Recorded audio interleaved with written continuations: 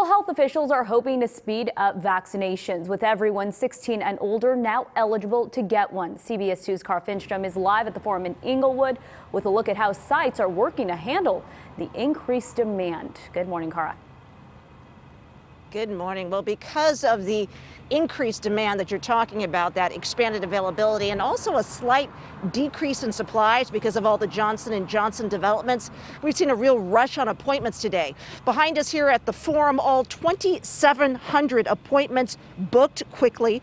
LA County fire officials say the youngest of the newly eligible needs to come today with a parent or guardian and a school or other ID showing they're at least 16. I have uh, nieces and nephews around that age who are considering it. Lisa Morris was relieved to learn anyone 16 and older can now get vaccinated at LA County sites like the Forum. LA City sites already expanded eligibility earlier this week. Morris hopes all her loved ones will make the choice she did. I've already had my first shot. Looking you know. forward to being with my family, going to Disneyland, um, sharing time together. I miss that. Health leaders hope expanding eligibility will help narrow a vaccination gender gap.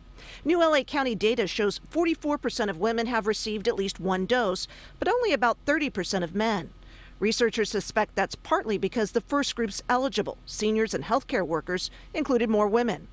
Dennis Ross told us he's been vaccinated. There's a little negativity about taking the shot, but it's more it's more risk to me being uh, catching this uh, disease right now. You know, I I just want to be healthy. Other new county data suggests the most common underlying health condition of COVID patients who end up hospitalized is cardiovascular disease, which includes high blood pressure.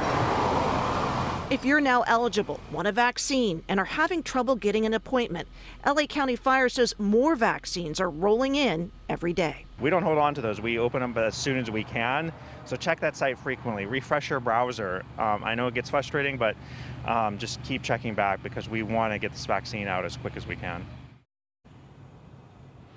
And giving you another live look here at the cars lined up. All this extra demand means some people are having a tough time getting second dose appointments. Chief Haskett says that group is top priority. So if you can't book an appointment, he says just show up at any county site with that white vaccination card.